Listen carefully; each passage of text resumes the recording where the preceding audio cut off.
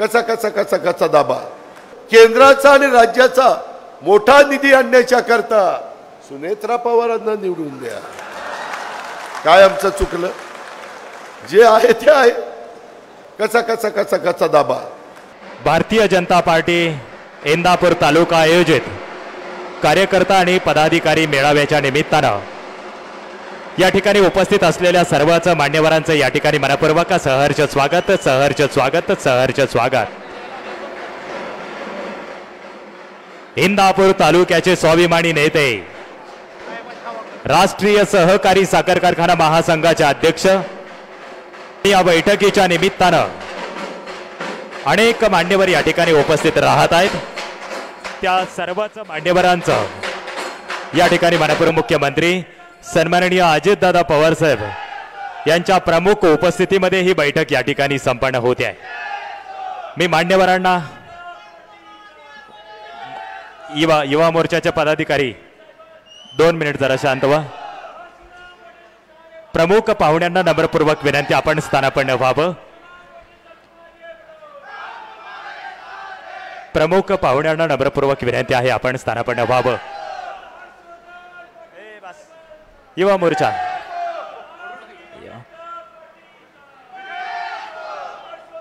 राज्याचे उपमुख्यमंत्री सन्माननीय अजितदादा पवार साहेब आणि आपल्या सर्वांचे लाडके नेते स्वाभिमानी नेते आदरणीय हर्षवर्धनजी पाटील साहेब या दोनही मान्यवरांचं या ठिकाणी व्यासपीठावरती आगमन झालेलं आहे. जोरदार टाळ्यांच्या घरात त्यांचं स्वागत करायचं आहे. त्याचे लोकप्रिय उपमुख्यमंत्री सन्माननीय नेते माननीय हर्षवर्धन पाटीलजी आपले पुणे जिल्हा महामोर्चाचे अध्यक्ष अंकिता पाटील ठाकरे लालासाहेब पवार पृथ्वीराज बापू गोलप विलास बापू वाघमोडे देवराज भाऊ जाधव पांडुरंग शिंदे तालुक्याचे अध्यक्ष भाजपचे advocate Sharadji Jamdar Rajvardhan Patil Nihar Thackeray Udaysinh Patil Vikas Patil Kiran Patil Tanaji Bapu Thorat Mauli Chaure Karansinh Golap Amar Patil Shekhar Patil doctor Sonawane Pradeep Patil advocate Krishnaji Yadav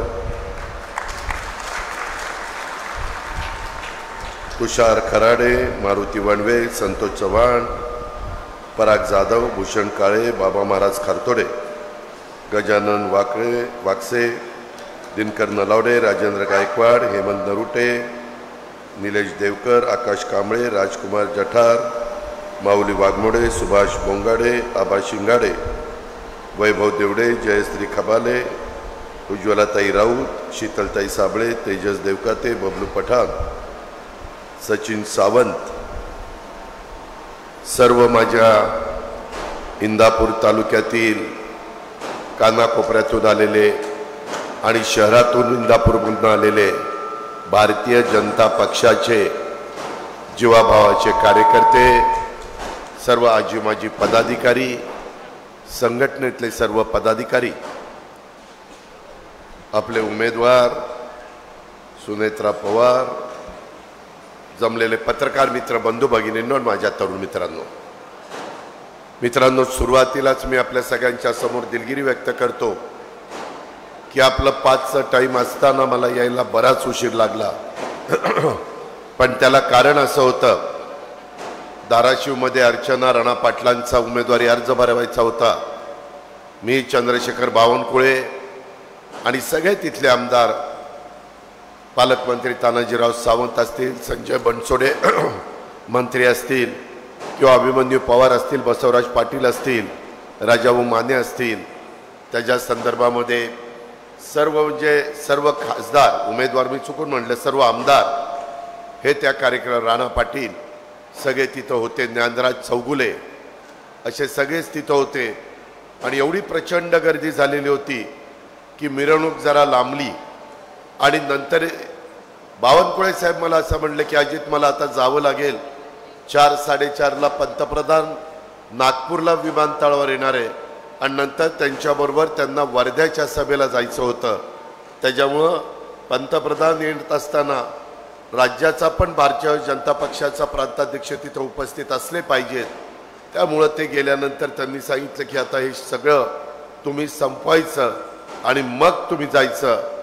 त्याच्यामुळं थोडंसं महायुतीमध्ये कधी कुणाची अडचण आली तर एकमेकाला सांभाळून घ्यावं लागतं.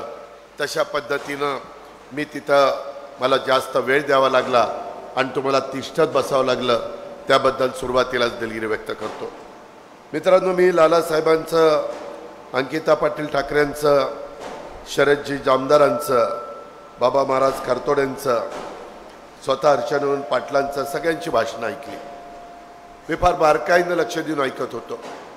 मित्रांनो हे उद्याची निवडणूक ह्या निवडणुकीच्या निमित्तानं या परिसरामध्ये येऊन तुमच्याशी बोलत असताना मला एक गोष्ट प्रकर्षाने जाणवली की एकोणनव्वदच्या निवडणुकीमध्ये स्वर्गीय शंकरराव बाजीराव पाटील भाऊ हे उभे होते आणि मी एक नवा नौका कार्यकर्ता म्हणून बारामतीमध्ये काम करत होतो.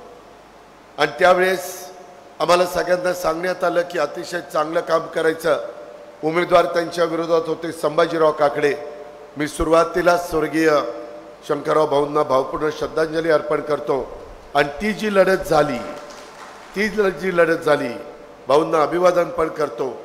त्यामध्ये आम्ही बारामतीमधनं पस्तीस हजाराचं लीड दिलं. बारामतीचा उमेदवार असताना देखील. आणि तेव्हापासून आम्ही मागं वळून बघितलं नाही. अनेक चढ उतार आले. एक्क्याण्णवला मी उभा होतो. त्यावेळेस इंदापूर तालुक्याने प्रचंड मला मताधिक्य दिलं. ऐंशी का पंच्याऐंशी हजाराचं लीड. मतदारांची संख्या कमी होती. तरी पंच्याऐंशी हजाराचं लीड दिलं. देशात काँग्रेस पक्षामध्ये पुरुषांच्या मध्ये सगळ्यात जास्त मताधिक्यांनी पी व्ही नरसिंहरावजी पंत पंतप्रधान होते. साडेतीन लाखाच्या मताधिक्यांनी मला तुम्ही निवडून दिलं. लोकसभे मतदारसंघात साडेचार लाख मला पडली एक लाख त्या प्रतिभा लोखंड्यांना पडली आणि ती निवडणूक झाली. तेव्हापासून अनेक निवडणुका मी पाहिल्या अनेक चढउतार पाहिले. त्याचा उल्लेख हर्षवर्धनजींनी केला. ते सगळं होत असताना अंकिताने पण सांगितलं किंवा मागच्या चार निवडणुकीमध्ये पाहिल्यानंतर त्याच्यामध्ये आमच्याकडनं काम करून घेतलं जातं परंतु नंतर मात्र वेगळं घडतं. हा अनुभव आम्ही सतत घेतोय. मित्रांनो ज्यावेळेस देवेंद्रजी इथं आले त्यांनी तुम्हाला सांगितलं की मी हा तालुका दत्तक घेतो. इथलं पालकत्व मी स्वीकारतो. इथले जे काही प्रश्न असतील ते मी सोडवीन. ह्या संदर्भामध्ये देशाचे पंतप्रधान नरेंद्र मोदी साहेब दहा वर्ष अतिशय उत्तम पद्धतीनं काम करतायत. जगामध्ये अनेक देशांचे त्यांचे मित्रत्वाचे संबंध निर्माण झाले. मगाशी शरदजी जामदारांनी सांगितलेली वस्तुस्थिती खरी आहे. युक्रेन आणि रशिया ही लढाई झाली. आपल्याला माहिती नव्हतं. अनेक आपली मुलं तिथं मेडिकल कॉलेजच्या करता युक्रेनमध्ये गेलेली आहेत. भारतातली महाराष्ट्रातली. त्यांना अतिशय सुरक्षित आणण्याचं काम मोदींनी पुतीनला सांगितलं की ते माझे सगळे विद्यार्थी मला बाहेर काढायचे आहेत. थोडंसं सहकार्य केलं पाहिजे. मित्रांनो शेजार धर्म हा पाळायचा असतो आणि मोदींच्या विनंती करता तिथं ऐकलं गेलं आणि त्या विम वेगवेगळी विमानं पाठवून आपण आपल्या मुलांना सगळ्यांना आपल्या महाराष्ट्रामध्ये आणि भारत देशामध्ये आणलं. आज आपल्या देशाला मोठ्या प्रमाणावर अर्थव्यवस्था आपली करायची आहे. आज जगात पाचव्या क्रमांकावर गेलो मोदी साहेबांना पुढच्या तिसऱ्यांदा पंतप्रधान होत असताना तिसऱ्या क्रमांकावर अर्थव्यवस्था न्यायची आहे. फार मोठं विजन आहे त्यांचं. विकास पुरुष म्हणूनच मी त्यांच्याबरोबर जाण्याचा निर्णय घेतला. आज त्यांच्यासारखा तोडीचा नेता कुठल्याही राजकीय पक्षामध्ये एकशे पस्तीस ते एकशे चाळीस कोटी जनतेचा कारभार खऱ्या अर्थाने करण्याच्या करता आपल्याला दिसत नाही. तुम्ही त्रयस्थ म्हणून बघा. भारत नागरिक म्हणून बघा. एकीकडे मोदी साहेबांचा फोटो. दुसरीकडे समोर कोण? कुणीच उत्तर द्यायला तयार नाही. गडीभर जरा राहुल गांधी काय तुलना होऊ शकते? काय राहुल गांधीची कारकीर्द आहे? काय मोदी साहेबांची कारकीर्द आहे? मुख्यमंत्री म्हणून गुजरातचे असू द्यात देशाचे पंतप्रधान म्हणून असू द्यात सगळ्या घटकाला न्याय देण्याचा प्रयत्न हा मोदी साहेबांच्या दूरच्या दृष्टीतनं झालेला आहे. मित्रांनो हे सगळं होत असताना आपल्याला केंद्रामध्ये आपल्या विचाराचा खासदार निवडून गेला पाहिजे. जर सत्तेवर असणाऱ्या पक्षाचा खासदार त्यांच्या युतीचा खासदार निवडून गेला तर केंद्राचा मोठा निधी त्या लोकसभा मतदारसंघाला आणता येतो. गेल्या दहा वर्षामध्ये तशा पद्धतीनं बारामती लोकसभा मतदारसंघामध्ये किती निधी आला ह्याची आपणच शहानिशा करा. मी आज तुम्हाला सांगू इच्छितो की हर्षवर्धन पाटील साहेबांच्या प्रयत्नातनं आपल्या सगळ्यांच्या मेहनतीतनं उद्याच्याला इंदापूर तालुक्यामध्ये प्रचंड मताधिक्य महायुतीच्या उमेदवाराला मिळालं तर त्यामध्ये निश्चितपणे त्यांच्या पाच वर्षाच्या कारकिर्दीत महायुतीच्या उमेदवाराच्या जास्तीचा केंद्राचाही पैसा आणि राज्याचाही पैसा विकास कामाच्या करता आम्ही आणायला कुठं कमी पडणार नाही हा शब्द देखील मी आपल्याला सगळ्यांना देतो. मित्रांनो तुम्हाला माहिती आहे मी शब्दाचा पक्का आहे. तुम्ही म्हणाल मग मागं काय व्हायचं? दोन हजार चार दोन हजार नऊ दोन हजार चौदा दोन हजार एकोणीस मी हर्षवर्धन पाटलांशी चर्चा करत नव्हतो. चर्चा कोण करत होते ते त्यांना माहिती आहे. ते आमच्या वर्षांकडे जायचे. त्यांच्याशी चर्चा करायचे. मित्रांनो मी उदाहरण देतो की दोन हजार एकोणीसची निवडणूक झाली. आम्ही सगळेजण एक मोठा उद्योगपती आहे. आज देशातल्या नंबर एकचा उद्योगपती त्यांच्या घरी. उद्योगपती मी अमित शहा स्वतः पवारसाहेब त्याच्यामध्ये प्रफुल्ल पटेल आणि देवेंद्र फडणवीस. आम्ही सहा जणं बसायचो सात जण बसायचो. चर्चा व्हायची. देवेंद्रजींचं माझं आम्हाला बसवलं सांगितलं की कसं पस्तीस जिल्ह्यांचं पालकमंत्रीपद कुणाला? कोण कोण मंत्री कोण कोण राज्यमंत्री? त्रेचाळीसमध्ये भाजपच्या किती राष्ट्रवादीचे किती? कुठली खाती? सगळी चर्चा पाच सहा मिटिंगमध्ये झाली. मला एक दिवस अमित शहा म्हणाले की अजितजी ह्याच्यामध्ये चर्चा होती परंतु नंतर ती शब्द पाळला जात नाही. तुम्ही ह्या चर्चेत आहात. तुम्हाला शब्द पाळावा लागेल. हे जे साक्षीदार देवेंद्रजी आहेत हे जे साक्षीदार प्रफुल्ल पटेल आहेत त्याच्यामध्ये मी होतो आणि त्यांनी आम्हाला सांगितलं. मी म्हणलं हरकत नाही.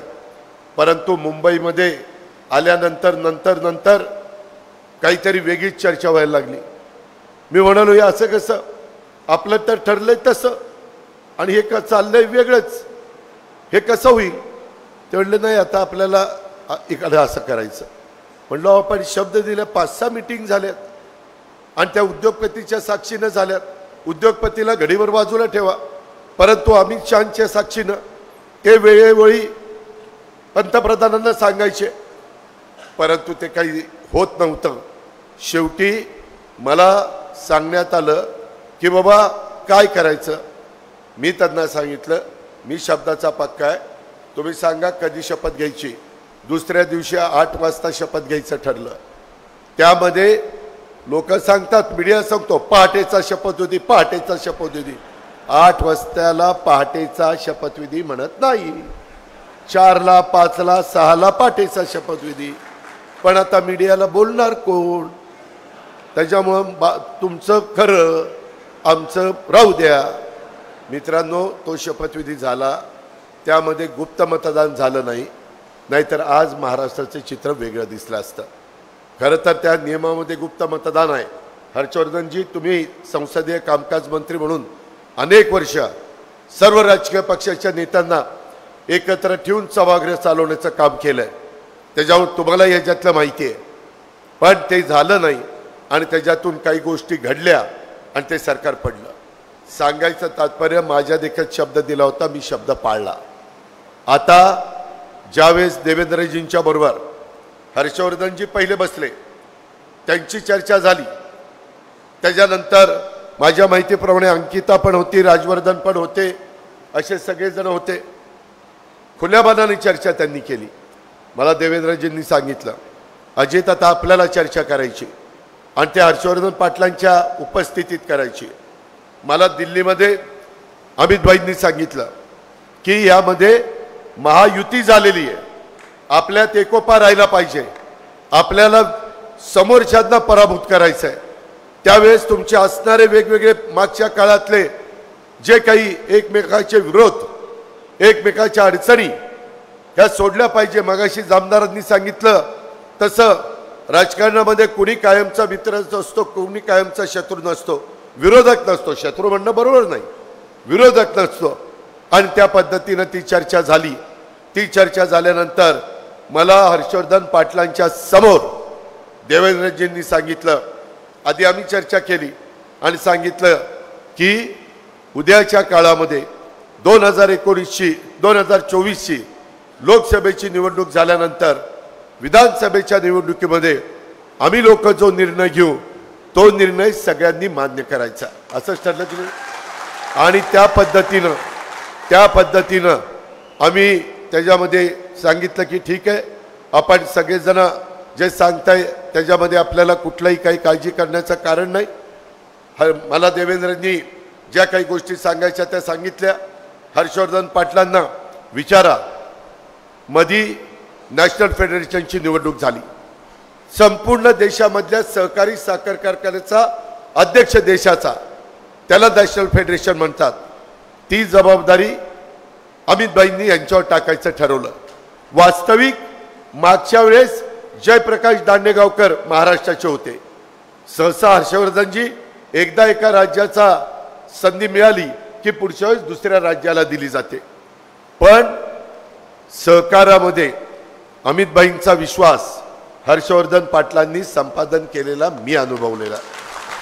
त्याच्यामध्ये मला एफ आर पीच्या बद्दलचे निर्णय त्याच्यामध्ये जो आपल्यावर हजारो कोटीचा आय टी इन्कम टॅक्स होता आणि कितीतरी त्यापेक्षा जास्त आपल्याला व्याज लागलं होतं काही हजार कोटी रुपये. आम्ही दोघं जणी मागं ते काँग्रेसमध्ये मी राष्ट्रवादीमध्ये. आम्ही दिल्लीला कितीदा गेलो? सहकार मंत्री ते होते. आम्ही अनेक पी चिदंबरमना भेटलो. त्याच्यामध्ये ए के अँथोनीला भेटलो. प्रणव मुखर्जींना भेटलो. जे जे अर्थमंत्री असायचे आम्ही भेटायचो. ते चर्चा करायचे. ते सांगायचे ठीक आहे आम्ही थांबवतो. काढलं कुणीही नाही. थांबवलं कुणीच नाही. नुसतं ती टांगती तलवार तशीच राहायची. पण ह्यांनी सगळ्यांनी देवेंद्रजी हर्षवर्धन राधाकृष्ण विखे पाटील असे काही जण दिल्लीमध्ये गेले. त्यांनी ही सगळी केस सांगितली. अमितभाई म्हणले मला हे चांग चांगलं माहिती आहे. अमितबाईंनी त्याचा अभ्यास केला. आणि अमितबाईंनी एखादी गोष्ट मनावर घेतली की ती पूर्णत्वाला जाते. आज तशा पद्धतीनं आपलं दहा हजार कोटीचं मुद्दल आणि पंधरा एक हजार कोटीचं व्याज एफ आरमध्ये जो भाव दिलेला होता त्याच्यात तुम्ही परवानगी घेतली नाही वगैरे असे काही मुद्दे इन्कम टॅक्सने काढले ते सगळे माफ झाले सगळे माफ झाले. महाराष्ट्रातलं नाही. देशातल्या ऊस उत्पादक शेतकऱ्यांच्या डोक्यावरचं कारखान्यावरचा तो सगळा बोजा निघाला. परत त्यांनी सांगितलं अहो साहेब बोजा काढला पुढं? एफ आर पी पेक्षा जास्त दर दिल्यावर काय? काही कारखाने देतात? त्यांचा रिसर दर निघतो. त्याच्यामध्ये मग त्यांनी सांगितलं कर्ज काढून तुम्ही दर दिला नाही कर्ज काढून. तर साखर आयुक्तानं तपासायचं. आणि तपासल्यावर त्यांनी बघितलं की खरोखरीच यांचा दर निघतोय. साखर आयुक्तांनी सही करायची. जास्तीचा एफ आर पीपेक्षा दर दिला. तरी त्याला इथून पुढं देशात कुठेही इन्कम टॅक्स लागणार नाही. हा निर्णय एनडीए सरकारने घेतला. त्याच्याकरता जर जे निर्णय पंचवीस पंचवीस वर्ष काँग्रेसच्या राजवटीमध्ये घेता आले नाही ते निर्णय मात्र धाडसानी. कुठलाही निर्णय घ्यायला धाडस लागतं. इच्छाशक्ती लागते. पॉलिटिकल व्हील लागतं. ते व्हील इथं दाखवण्यात आलं. हा एक महत्त्वाचा निर्णय आपल्या बाबतीमध्ये झाला. अशा पद्धतीनं अनेक गोष्टी. आता आपले दर एवढे घसरले असते परंतु त्यांनी सांगितलं नाही. एकतीस रुपयाच्या आत कुणालाही साखर विकत घेता येणार नाही. आणि विक्री करताना कुणालाही त्याच्या आत विक्री करता येणार नाही. मित्रांनो तुम्हाला माहिती आहे आम्ही काँग्रेसच्या सरकारमध्ये असायचो. हर्षवर्धनजी सतरा रुपये दर असायचा. अठरा रुपये एकोणीस रुपये वीस रुपये. साखर खाली आल्यावर कुणी बघायचंच नाही. जो आत्ता त्या ठिकाणी निर्णय घेतला तो निर्णय घेतला असता तर कारखानदारी टिकली असती. बरेच कारखाने अडचणीत आले. अडचणीत आलेले कारखाने शेवटी बँकांनी लिलाव लिलाव काढले. हेही आपण पाहिलं. त्याच्यामुळं ह्याही गोष्टीचा विचार आपण सगळ्यांनी करा. आता मो स्वतः अमितभाई म्हणले की उद्याच्या निवडणुका होऊ द्या. आम्ही त्यांना सांगितलं अमितभाई एफ आर पीचे दर तुम्ही तीन वेळेला वाढवले. चार वेळेला वाढवले. पण एकतीसचा दर वाढवला नाही. तुम्ही ज्यूस टू इथेनॉल त्याच्यामध्ये मदत केली. त्याबद्दल दुमत नाही. मधल्या काळामध्ये साडेचार रुपये कोजनचा दर आणला. युनिटला. त्याच्यात एकनाथराव शिंदे देवेंद्र फडणवीस आम्ही दीड रुपये अनुदान द्यायचं ठरवलंय. प्रत्येक कारखान्याला काही कोट रुपये फायदा होणार आहे. त्यांचे ज्यांचे सहा कोटी युनिट जातील त्यांना नऊ कोटी मिळतील. ज्यांचे दहा कोटी जातील त्यांना त्या ठिकाणी पंधरा कोटी मिळतील. अशा पद्धतीनं निर्णय हे सर्वसामान्यांचं सरकार आहे. केंद्रातलं सरकार शेवटच्या माणसाचा विचार करणारं सरकार आहे. आणि त्यामुळं हे सगळे प्रश्न सुट सोडवण्याचं काम झालंय. आत्ता बोलत असताना वेगवेगळ्या पद्धतीनं अंकिता पाटलांनी सांगितलं की आपण पुढं महायुतीचा धर्म पाळला पाहिजे. हा अजित पवारचा शब्द आहे मी महायुतीचा धर्म पाळणार. त्यामध्ये जे दोन हजार चार नऊ चौदा एकोणीसला घडलं तशा पद्धतीनं घडतं आणि ते आम्ही सहन केलं. ते घडता कामा नये आमच्या जखमा त्या काळामध्ये झालेल्या आहेत. हे पण त्यांनी सांगितलं. त्याच्यामध्ये भरपूर अन्याय वेगवेगळ्या पद्धतीनं पोलीस डिपार्टमेंट आणि वेगवेगळ्या डिपार्टमेंटचा झाला आहे त्याच्याबद्दल देवेंद्रशी सर्व विषयावर सविस्तर चर्चा झाली आहे. खरं तर पोलीस खातं जलसंपदा खातं ऊर्जा खातं जी आपल्या सगळ्यांच्या जिवाळ्याची खाती आहे अतिशय महत्त्वाचे प्रश्न पाण्याचे जलसंपदाकडे असतात. कायदा सुव्यवस्थेचे आमच्या गृह खात्याकडे असतात. विजेचे ज्याचा उल्लेख हर्षवर्धन पाटील साहेबांनी केला तो देखील आमच्या देवेंद्रजींच्याकडे. आणि त्याकरता आपल्याला आम्ही सगळेजण असे ज्यावेळेस प्रश्न निर्माण होतात एकनाथरावजी मी देवेंद्रजी बसतो आणि त्याच्यातनं मार्ग त्या ठिकाणी काढतो. एक गोष्ट हर्षवर्धन पाटील तुम्हाला आणि सगळ्याच या माझ्या सहकाऱ्यांना सांगायचं आहे भाजपच्या जीवाभावाच्या कार्यकर्त्यांना नेत्यांना सांगायचं आहे की आचारसंहितेचे काही नियम असतात आणि ते नियम पाळावे लागतात. त्याच्यात कालच मी मला वाटतं डॉक्टर लोकांना इथं भेटायला आलो होतो. नंतर मी जामदारांनाही भेटलो वकील लोकांना. तिथं बोलत असताना की बाबा तुम्ही उद्याच्या काळामध्ये महायुतीच्या विचाराचा खासदार म्हणून निवडून द्या उमेदवार निवडून द्या. आम्ही तुम्हाला निधी देऊ. तुम्ही त्या ठिकाणी निवडून देण्याच्या करता त्या मशीनच्या शेजारी जे बटन आहे ते बटन घड्याळच्या शेजारचं कसा कसा कसा कसा दाबा. आता ही ग्रामीण भाग झाला आपला कसा कसा कसा. परंतु तेच पुण्यात भाषण असतं तर तुम्ही घड्याळच्या शेजारचं बटन आपण दाबावं आणि आम्हाला मतदान करावं. तुम्ही मतदार राजा आहात. तुम्ही प्रमुख आहात. घटनेचे शिल्पकार डॉक्टर बाबासाहेब आंबेडकरांनी तो अधिकार तुम्हाला दिला आहे त्या अधिकाराचा वापर आम्हाला करा. आम्ही देशाचे पंतप्रधानांना तिसऱ्यांदा पंतप्रधान करण्याच्या करता त्या मताचा वापर करू असं सांगितलं असतं. तिथं कचा कचा कचा कचा सांगितलं असतं. लगेच त्यांनी सुरू केलं. आचारसंहितेचा भंग झाला भंग झाला. अरे म्हणलं बाकीचे काही पण सांगतात.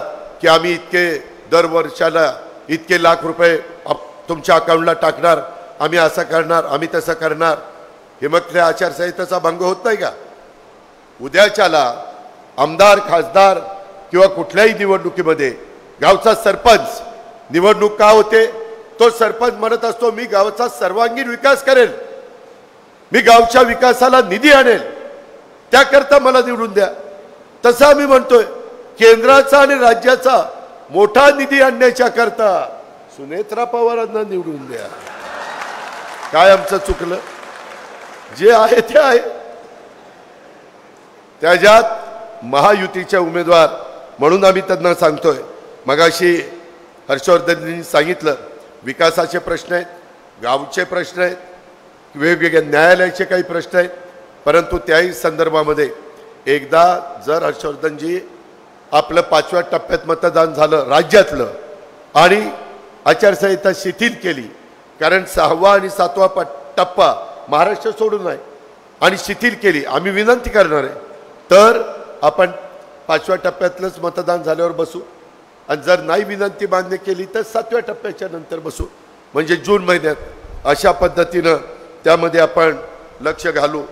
त्या संदर्भात सहकारी संस्था दुधाचा व्यवसाय नवीन विकासाचा पर्व सुरू करावा लागेल. मला मान्य आहे. नवीन विकासाचा पर्व आपण सगळेजण मिळून सुरू करूया. जनतेच्या प्रश्नासाठी स्वाभिमानी माणसाला मदत करावी लागेल तेही मला मान्य आहे. त्याहीबद्दल मी कुठं यत्किंचितही बाजूला जाणार नाही. आपण सांगितलं की महायुतीचा धर्म पाळायचा पा पाळला पाहिजे. आपण सगळेजण मिळून जे काही ठरेल त्याबद्दल महायुतीचा धर्म पाळू. उद्या न, न निरा नरसिंगपूरला प्रचाराचा नारळ तुम्ही फोडणार आहे. मी पण उद्या बारामतीला गणेरीला प्रचाराचा नारळ फोडणार आहे. ती आपली परंपरा आहे. ती परंपरा आपल्याला टिकवायची आहे. ज्या परंपरा चांगल्या आहेत जुन्या असल्या तरी त्या नवीन लोकांना पण चांगल्या वाटतात. त्या आपल्याला करायच्यात आणि त्यावेळेस नवीन मला वाटतं आठ जिल्हा परिषदेचे गट आणि जुने सात असे आठ गटामध्ये किंवा सात गटात हर्षवर्धनजी म्हणले की आपण संयुक्त सभा शेवटी घेऊ. एकदा हर्षवर्धन पाटील आणि भारतीय जनता पक्षाचे सगळे सहकारी त्या सभा घेतील. समोरचे दत्तामा भरणे किंवा त्यांचे सहकारी त्यांच्या त्यांच्या पद्धतीनं सभा घेतील. नंतर मात्र संयुक्त सभा. संयुक्त सभेला हर्षवर्धनजींना मी सांगितलं दोन दिवस लागतील. दिवसभरात चार आणि दुसऱ्या दिवशी चार आणि इंदापूर शहरातली एक. अशा सभा नऊ होतील. त्या नऊ किंवा काय स- सात आणि एक आठ जे काही होईल ते. तेवढ्या सभेला मी पण हर्षवर्धन पाटलांच्या समोर स्टेजवर हजर असेल आणि आम्ही दोघं मिळून त्या संयुक्त सभेला मार्गदर्शन करू. त्याबद्दल तिळमात्र शंका कुणी मनामध्ये बाळगू नका. मागं खूप काही साठलेलं आहे. खूप काही सा साचलेलं आहे. त्याचं मूर्तिमंत उदाहरण म्हणजे आमच्या ॲडव्होकेट शरदजी जामदारांचं बेलवाडीचं त्यांच्या स्वतःच्या सुविद्य पत्नीचं उदाहरण त्यांनी दिलं. हेही मी पा त्या ठिकाणी ऐकून घेतलेलं आहे. परंतु मित्रांनो इथून पुढच्या काळामध्ये आपण पहिल्यांदा भारताचं भवितव्य देश मजबूत असेल तर राज्य मजबूत राहणार आहे. राज्य मजबूत असतील तर जिल्हे मजबूत राहतील तालुके मजबूत राहतील आणि गावं मजबूत राहतील. असा तो टप्पा आहे. आणि त्या टप्प्याने आपल्याला सगळ्यांना त्या ठिकाणी गेलं पाहिजे. तुम्ही त्याच्याबद्दल यत्किंचितही शंका बाळगू नका. मगाशी आमचे काही सहकाऱ्यांनी मला काही गोष्टी त्या ठिकाणी सांगितल्या. किंवा दादा ह्यामध्ये आता करंटसी करंटसी घोलक आपल्या आवी घोलपांचे चिरंजीव सभापती होते. त्यांनी काही दाखले मला दाखवले. मी ते घेतलेत. ह्यामध्ये दुरुस्ती करावी लागेल. जिथं काही कार्यकर्ते माझ्याबरोबर सतत काम करत होते परंतु आता महायुतीच्या निमित्तानं भाजपचे पण कार्यकर्ते काही शिवसेनेचे कार्यकर्ते रासपा असेल आर पी आय असेल त्याच्या संदर्भातले वेगवेगळे घटक सगळे मित्र पक्ष मी सगळ्यांची नावं घेत नाही त्या सगळ्यांचे कार्यकर्ते यांना एकत्र घेऊनच आपल्याला पुढे जावं लागेल. त्याच्यामुळं काही जण चुकतायत. ते तिथल्या तिथं दुरुस्त करावं लागेल. अफवांच्यावर आणि सोशल मीडियावर कुठल्याही पद्धतीनं आपल्या महायुतीच्या अठ्ठेचाळीस जागांच्या बद्दल कुणाच्याच मनात समज गैरसमज होता कामा नये ह्या पद्धतीचं काम वरपासून तळापर्यंतच्या कार्यकर्त्यांच्या मध्ये करावं लागेल. तुम्ही सगळ्यांनी बांधणी खूप चांगली केली. मला मगाशी बाकीच्या मान्यवरांची भाषणं चालू असताना मी हर्षवर्धनजींशी वेगवेगळ्या विषयावर बोलत होतो आणि ते मला सांगत होते. ते सगळं मी पाहत होतो. मित्रांनो इतर पक्ष वेगळे. परंतु भारतीय जनता पक्ष शिस्तीचा पक्ष आहे. सतत कार्यकर्त्याला कामामध्ये ठेवतो. एक काम सांगितलं ते झालं की दुसरं. दुसरं झालं की तिसरं. मला आता माझ्याही काही जवळचे सहकारी भाजपामध्ये गेलेले आहेत. त्यां- ते मला सांगतात किंवा दादा इथं अशीशी पद्धत असते. आपल्या काँग्रेसमध्ये आपल्या राष्ट्रवादीमध्ये आपल्या इतर पक्षात अलबेल असायचं. चला रे चला चला रे चला. हौशे नऊशे गौशे सगळ्यांना पण बरोबर घेऊन जावायचं. इथं तसं चालत नाही. इथं वरपासून खालपर्यंत शिस्त. उद्याच्याला शरदजी आमदारांनी यादी दिली. तर बेलवाडीमध्ये कोण बूथ वाईज आहेत? त्यांचे नंबर. दिल्लीतनं फोन येतो त्या माणसाला. खरंच का रे बाबा तू भारतीय जनता पक्षाचा बूथचा सदस्य झालाय? झालेला असेल त्याने सांगितलं हो झालो. तर बरोबर बाकीच्या पक्षात मतदार यादी घ्यायची जी आकडे त्याच्या नावं घ्यायची. त्याला फोन केला तर ए कधी झालो? काही थापा मारतो काही फोन करतो? तुला काही उद्योग नाही का? झालं सगळं सत्यानाश. अशा पद्धतीनं वेगवेगळ्या पक्षांची कामाची पद्धत असते. आम्ही पण बरेच वर्ष बघत आलो आहे ठीक आहे आर एस एस त्यांची पण त्यांना शिकवण आहे आणि स्वतः नरेंद्र मोदी साहेब अतिशय खंबीर अशा प्रकारचे नेते त्यांच्या पण उद्याच्या पाच वर्षाच्या करता आम्हाला ज्यावेळेस चर्चेला संधी मिळते आपल्या महाराष्ट्रात आल्यानंतर मी देवेंद्रजी आणि एकनाथराव शिंदे आम्हाला प्रोटोकॉलप्रमाणे त्यांना भेटायला जावं लागतं वेलकम करायला जावं लागतं. सी ऑफ करायला जावं लागतं. त्यावेळेस सतत डोक्यात देशाचा विकास राज्याचा विकास आपल्याला मगाशी जे हर्षवर्धन पाटलांनी सांगितलं किंवा मगाशी काहींनी बोलत असताना सांगितलं की बाबा ठराविक लोकांनाच पाणी मिळतं पाणीची आठवणी येते. हे सगळे दुखणे जर दूर करायचे असतील तर मधी आम्ही चर्चा केलेली आहे मुळशीचं पाणी. त्याच्याचबरोबर आपल्या पुणे जिल्ह्यामध्ये पुणे शहरामध्ये आणि पिंपरी चिंचवड शहरामध्ये तुम्हाला पटणार नाही. जवळपास दोन्ही शहरं मिळून तीस टी एम सी पाणी तीस टी एम सी पाणी. म्हणजे नवत्रिक सत्तावीस तीन वेळेला वीर धरणं भरतील एवढं पाणी प्यायला लागतं. परंतु ते पाणी नंतर नदीला येतं. सिवरेज ट्रीटमेंट प्लांटमधनं ते शेतीच्या योग्यतेचं फार तर फार जनावरांच्या पिण्याच्या योग्यतेचं. असं करून ते शेतीला सो सोडायचंय. ते आपल्याला आणायचंय. आपल्याला वीरचं ओव्हरफ्लोचं पाणी आणायचंय. अशा वेगवेगळ्या गोष्टी आहेत. काल मी आणि देवेंद्रजी सांगलीमध्ये संजय काकाचा फॉर्म भरायला गेलो होतो. टेंबू ताकारी म्हैसाळ ह्या योजना. तिथं आज अक्षरशः पाण्यामुळं जिथं कुसळ उगवत नव्हतं तिथं हिरवागार ऊस उगवायला लागलाय. कांद्याच्या पातीसारखा ऊस उगवतो अशा पद्धतीनं बदल झालेला आहे.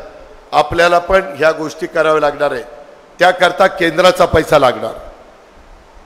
त्याकरता केंद्राच्या विचाराचा खासदार निवडून गेला पाहिजे. तो नाही गेला तर ती नुसतेच जाऊन तिथं भाषण करणार. असं झालं पाहिजे तसं झालं पाहिजे हे केलं पाहिजे. आणि मोदींवर टीका करून प्रश्न सुटणार आहेत का? अरे ज्यांच्याकडनं घ्यायचंय त्यांनाच तुम्ही नाराज केलं तर कोण तुम्हाला देणार आहे? गावात मी सरपंचाच्या विरोधी आहे. आणि रोज सरपंचालाच मी टीका करत बसलो. सरपंच आला तर तेवढ्यापुरता माझ्याशी गोड बोलेल. या बसा. काय काय नाही. परंतु माझी पाठ फिरल्यावर म्हण ती ग्रामसेवकाला सांगितलं याचा अजिबात करायचं नाही. त्याचा बंदोबस्तच करायचा. ही पद्धत आहे गावची. ही मी सांगायला पाहिजे का? नाही. त्यामुळं आपण आपल्या विचाराचा महायुतीचा खासदार महाराष्ट्रातनं जेवढी जास्त ताकद मोदी साहेबांना मिळणार आहे तेवढा महाराष्ट्राचा फायदा होणार आहे. कसा? ह्या पिण्याच्या पाण्याला जलजीवनला ह्या शेतीच्या पाण्याला शेतकऱ्यांच्या वेगवेगळ्या प्रकल्पांना पैसा आपल्याला येणार आहे. मेट्रोला पैसा येणार वंदे भारतला पैसा येणार. त्याच्यामध्ये लोकल असेल वेगवेगळ्या प्रकारचे नॅशनल हायवे असतील वेगवेगळ्या प्रकारचे अटल ब्रिज जावं मुंबईला जाताना अर्धा तास वाचतो डायरेक्ट आपण मंत्रालयाच्याकडे निघतो. हजारो कोटी रुपयाची कामं. त्या दिवशी मला मोदी साहेब सांगत होते अजित भूमिपूजन पण मीच केलं आणि उद्घाटन पण मीच केलं. असा नेता असावा लागतो. नाहीतर नेते असे असायचे निवडणूक आली की नारळ फोड. पाच वर्ष काही नाही. पुन्हा पुढच्या निवडणुकीमध्ये पुन्हा नारळ फोड आणि लोकांना आशेला लाव. असं राजकारण महायुतीमध्ये आणि नरेंद्र मोदींच्या डिक्शनरीमध्ये नाही. एकदा एक निर्णय घ्यायचा म्हणलं तर घ्यायचा. अनेक वर्ष अनेक जण सांगायचे आम्ही महिलांना तेहतीस टक्के आरक्षण देणार. कुणी दिलं नाही. दोन हजार एकोणतीसपासून महाराष्ट्रात नाही तर सगळ्या राज्यात आणि देशात महिलांना आरक्षण दिलंय वन थर्ड आता आपल्या दोनशे अठ्ठ्याऐंशी जागा आहेत महाराष्ट्र विधानसभेत.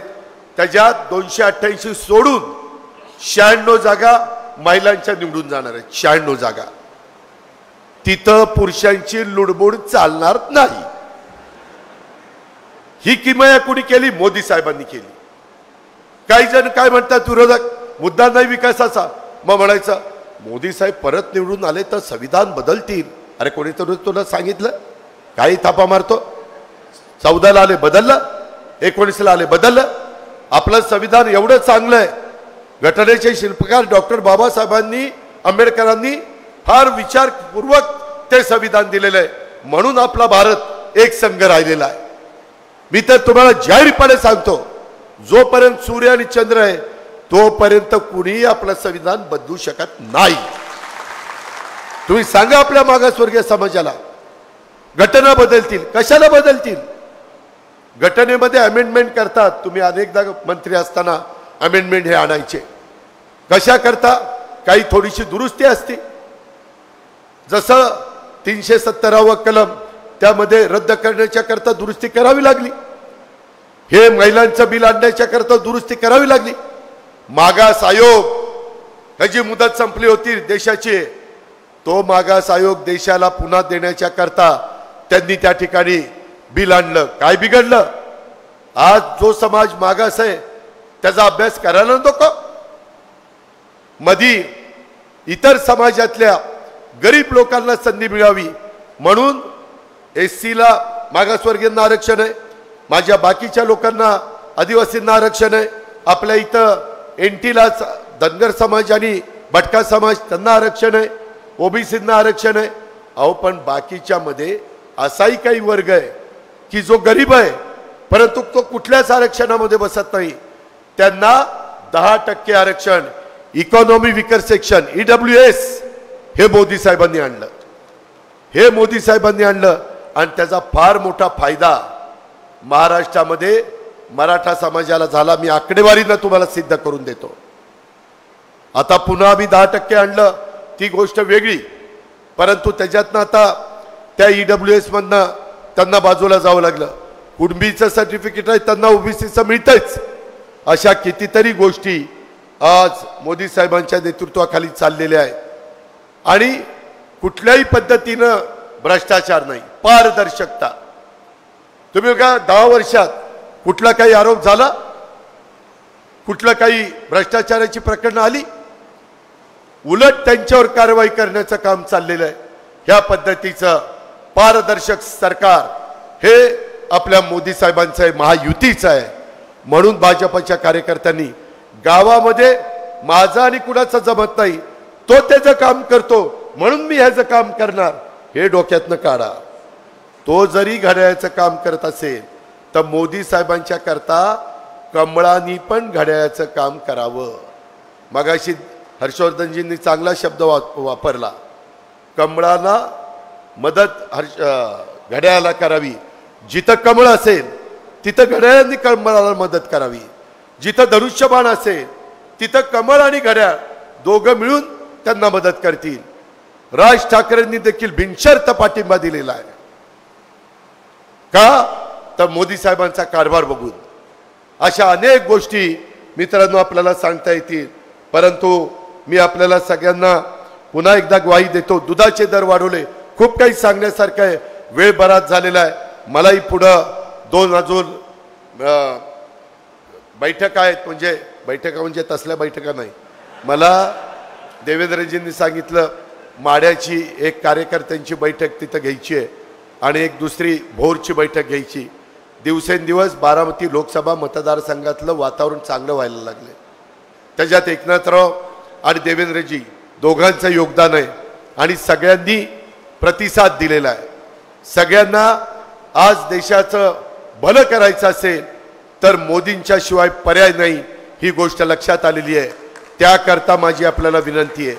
अजिबात दुसरा कुठलाही गावकी भावकीचा विचार न करता बाबांनो इथून पुढच्या काळामध्ये खऱ्या अर्थाने आपल्या इंदापूर तालुक्यामध्ये महाराष्ट्रामध्ये नवीन विकासाचं पर्व सुरू होण्याच्याकरता एकमेकाचे हेवेदावे सोडून एकमेकाचे नाराजी किंवा एकमेकाचा दुस्वास सोडून आपण सगळेजण महायुतीचं काम मनापासून करूया. आणि आम्ही जे शब्द दिलेले आहेत देवेंद्रजींच्या बरोबर जी चर्चा झालेली आहे त्या सगळ्या शब्दाचं निश्चितपणे आम्ही पूर्तता त्या ठिकाणी करू. हा अजित पवाराचा शब्द आहे. एवढंच बोलतो आणि आपल्या सगळ्यांची रजा घेतो. जय हिंद जय महाराष्ट्र. धन्यवाद दादा. यानंतर आदरणीय हर्षवर्धनजी. कुणी उठू नका दोन मिनटं बसा खाली आता आपल्या उमेदवार आहेत त्या दोन मिनटं आपल्याशी बोलतील आणि त्यानंतर सभा संपेल. कृपा खाली बसा दोन मिनटं. आदरणीय हर्षवर्धनजी पाटील यानंतर महायुतीच्या अधिकृत उमेदवार आदरणीय सुनेत्रा वहिनी पवार आपल्याला मार्गदर्शन करतील.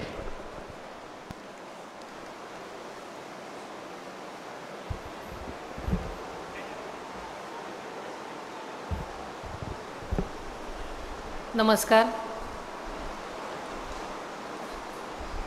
आजच्या कार्यक्रमासाठी उपस्थित असलेले राज्याचे उपमुख्यमंत्री माननीय अजितदादा पवार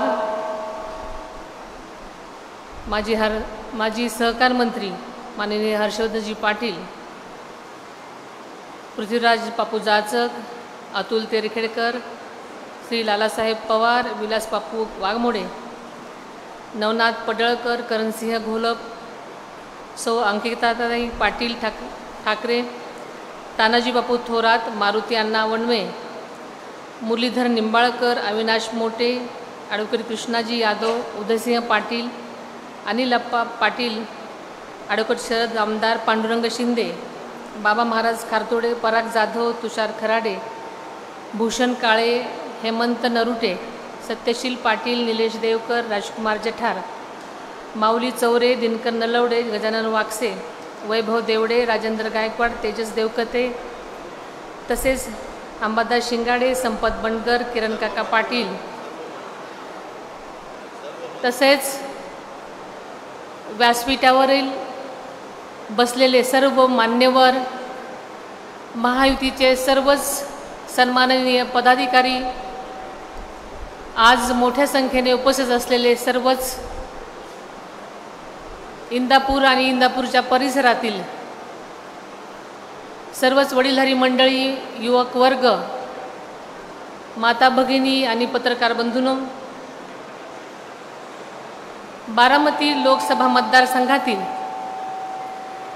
महायुतीचे घटक पक्ष असणाऱ्या भारतीय जनता पार्टीच्या या बैठकीमध्ये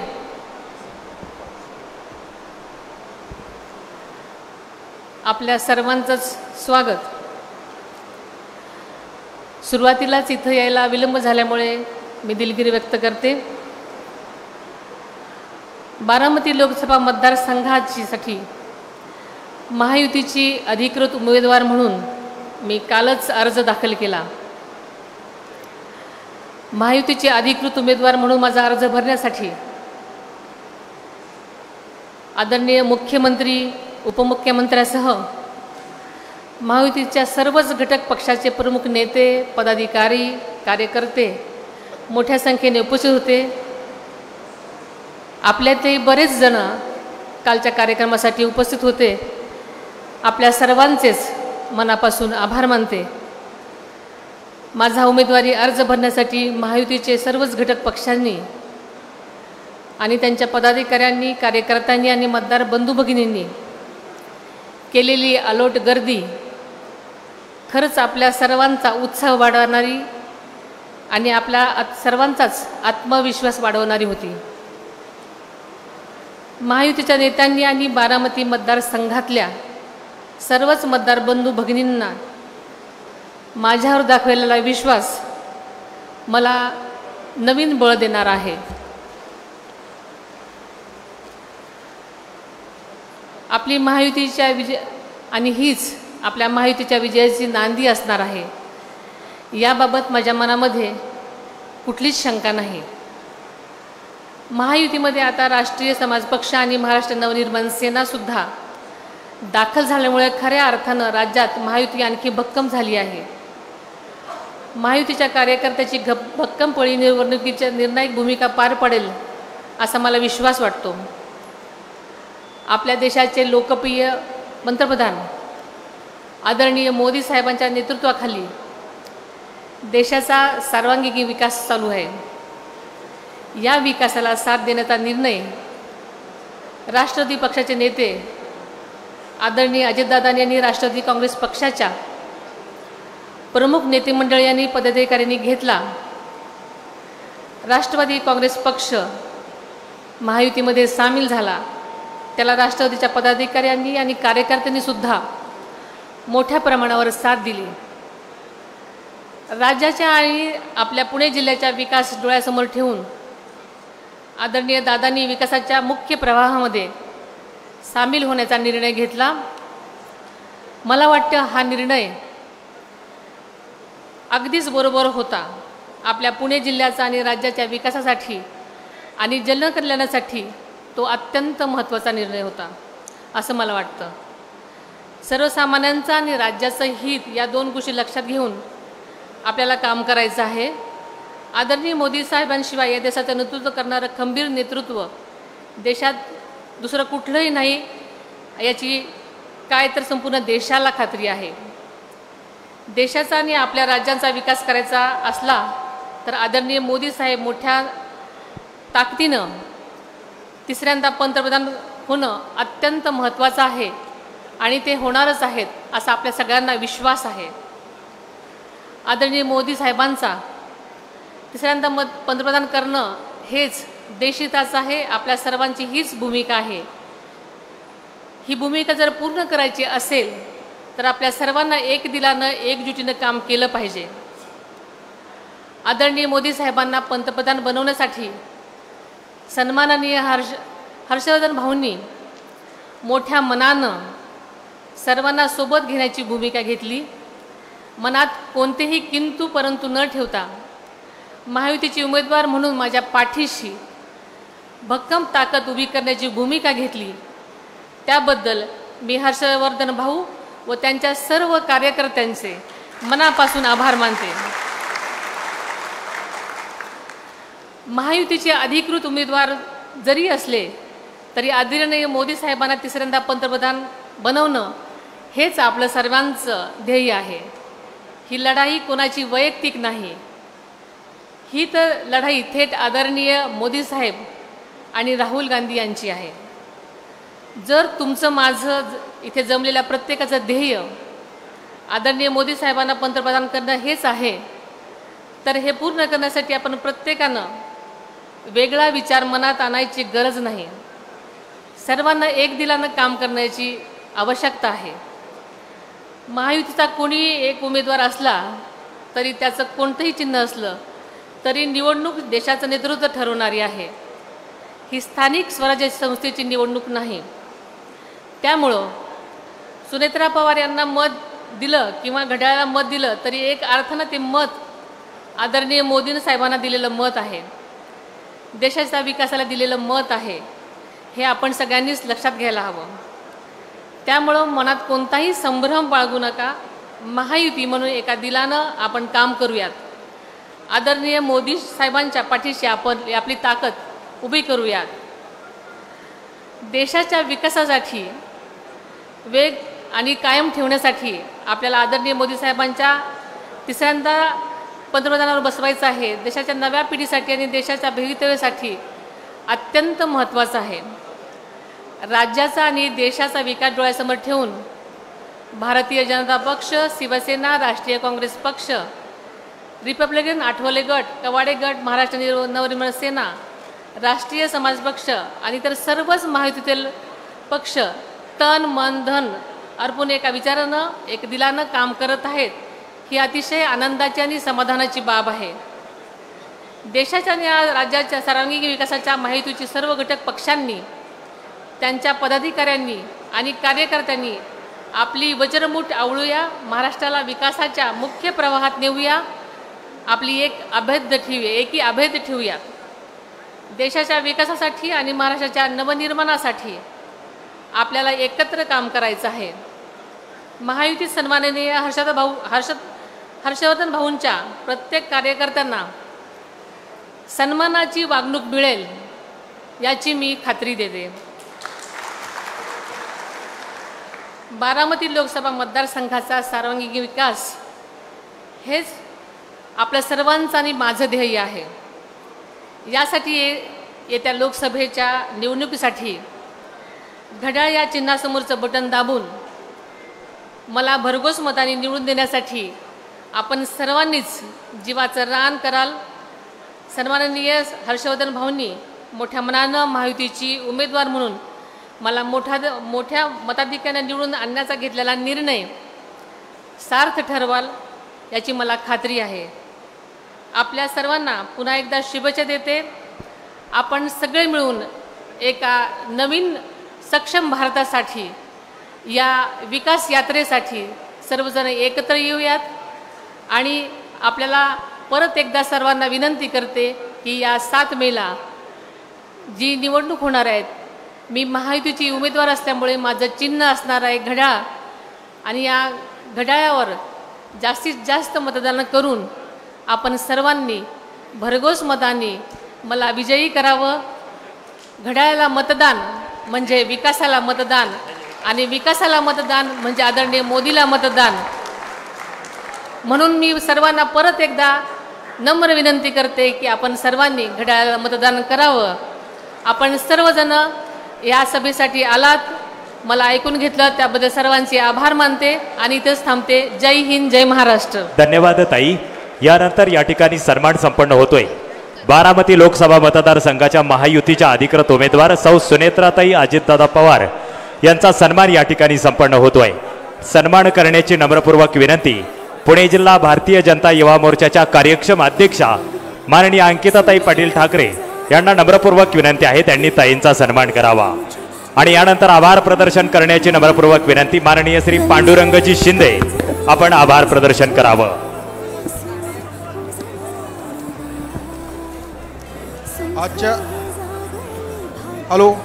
आजच्या या कार्यक्रमाला आवर्जून उपस्थित असलेले माननीय अजितदादा पवार महाराष्ट्र राज्य उपमुख्यमंत्री नामदार हर्षवर्धन पाटील साहेब राष्ट्रीय साखर संघाचे अध्यक्ष बारामती लोकसभा लोकसभेचे उमेदवार सुनीताताई पवार युवा मोर्चाच्या अध्यक्षा अंकिताताई पाटील ठाकरे राजवर्धनदादा पाटील आव सर्व मान्यवर उपस्थित राहिल्याबद्दल त्यांचे आभार मानत आहे आणि कार्यक्रम संपला असं जाहीर करत आहे.